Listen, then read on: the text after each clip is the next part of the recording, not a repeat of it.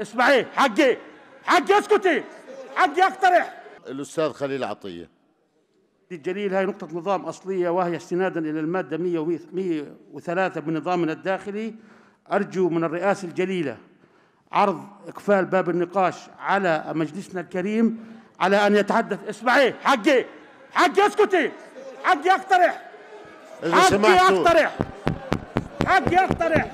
اقرأ النظام الداخلي. لو سمحتوا لو إذا سمحتوا. سمحت.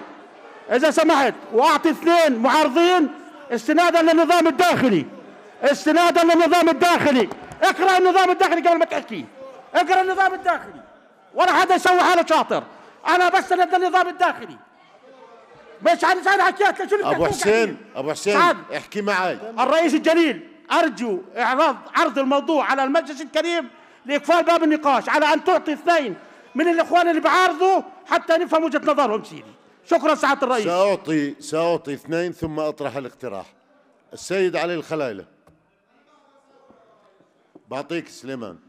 لا يجوز لا يجوز لا يجوز. اقت- اقتراح قفل باب النقاش في المواضيع المتعلقة بالدستور بالدستور. شكرا. شكرا. آه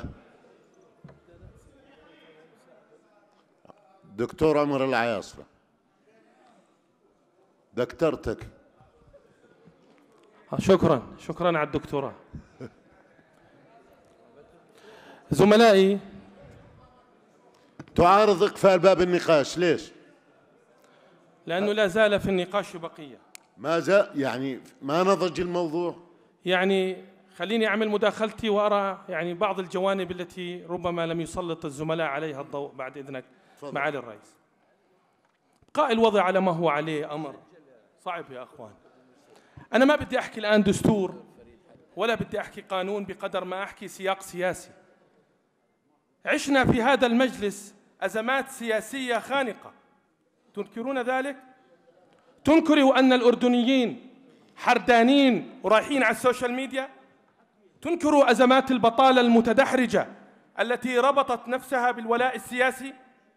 تنكروا أزمة الفتنة وأزمة ناعور؟ تنكروا هذه الأزمات البنيوية التي تقول أنه لا يجوز ولا يصح ولا يمكن أن يستقيم أن يبقى الوضع على ما هو عليه؟ ففكر الملك بدون ضغط هذه المرة لا حراكات في الشارع إلا ضغط هذه الأزمات بالذهاب إلى مشروع إصلاحي. النظر له برمته مهم.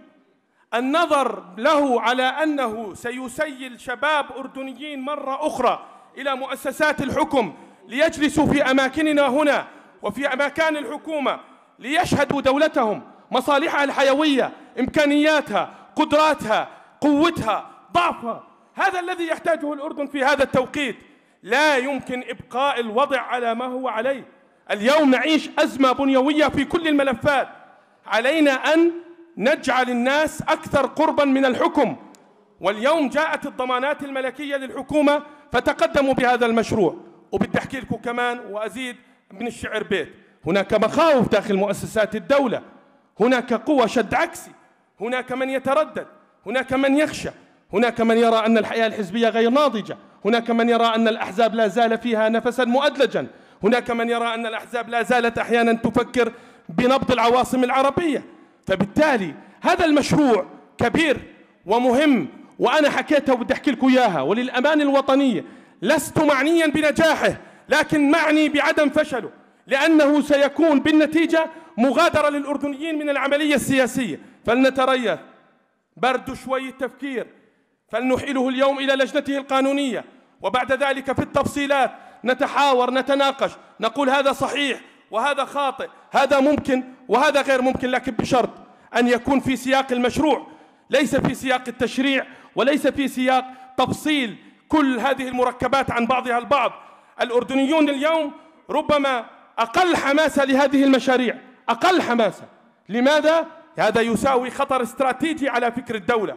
اليوم الشرعية البرلمانية في الدولة الأردنية تتعرض لعلامات استفهام. في الواحد وعشرين الأمير المؤسس لما إجى على الدولة قال مكان تحت الشمس. وقرر أن يكون لنا نظام برلماني. اليوم هذا البرلمان الكل يهاجمه. لا أريد أن أقول ضعيف لكنه على الطاولة أصبح ضعيف ضعيف وبالتبعية أصبحت الحكومات ضعيفة. بالتالي علينا أن نجدد شبابها. نحن أمام مسؤولية تاريخية. علينا أن نرتقي اليوم لكل الحسابات الفئوية والحزبية والمناطقية والجهوية لنقول أننا بحاجة إلى مشروع كبير يعيد الأردنيين يستعيدهم إلى دولتهم. هؤلاء الذين شردوا عنا وشتمونا في كل لحظة. لذلك أنا أقترح معالي الرئيس شكراً. أن يحال هذا القانون وأن نفكر به مليا من منظور وطني. وشكرا عليك. شكرا.